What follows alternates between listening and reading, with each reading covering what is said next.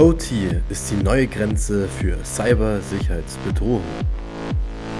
Bidirektionaler Netzwerkverkehr wie von Switch-Span-Ports eröffnen Schwachstellen durch eingehende Bedrohungen. Wir nehmen uns mal das Beispiel des Corporate-Netzes. Ein Hacker erlangt Zugriff zum Netzwerk über einen OT-Switch und gibt seinen Payload über diesen Switch dann weiter. Dieser abgegebene Payload verbreitet sich dann weiter übers OT-Netzwerk.